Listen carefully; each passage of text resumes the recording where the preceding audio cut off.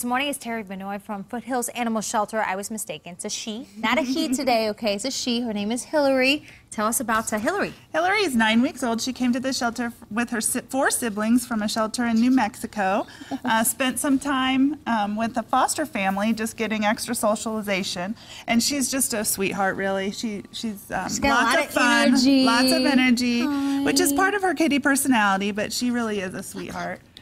Look over there. And She's only love- nine weeks, you said? She's nine weeks old, and her adoption fee is $115, and that includes her her spay and her vaccinations and all that good stuff, microchip, and just a general check. I know, you don't want to be on this table. That's okay. We'll go play in a little while, okay?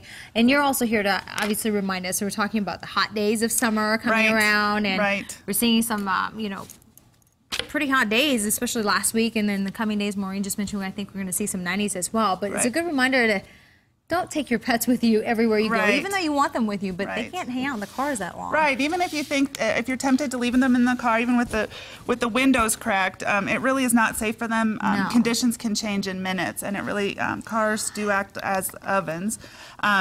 Um, it's a good idea also to check the pads on their feet can get burnt very easily. Mm-hmm. So if the cement is too hot for your bare hand or bare foot, it's too hot for them to be walking on them. Um, just take the activities easy in the summer with your pet. If you typically walk your dog, uh, make sure you're doing that in the early morning or later in the evening when the temperatures have cooled. Um, if you keep your pet outdoors quite a bit, make sure there's shade available um, and, and good, clean, fresh water. you just want to show You are the cute. other side You're you. like, "Uh, my backside is very cute. What's wrong with you? Okay. Uh, these are the tips to remind you, of course, you know, to as, help your pet stay safe, especially during as we see the temperatures rise in the summertime. And it's another reminder too. I've seen some. Um, uh, people keep their dogs in the back of the trucks just Oh, open. yes. First of all, that's not safe. Secondly, Exactly. that can get really hot really fast Really too. hot, Um, sure. There's no shelter for them, so No. just keep that in mind. If you wouldn't hang out back there for long, then you probably shouldn't do it for your pets either. All right, let's uh, find Hillary a good home.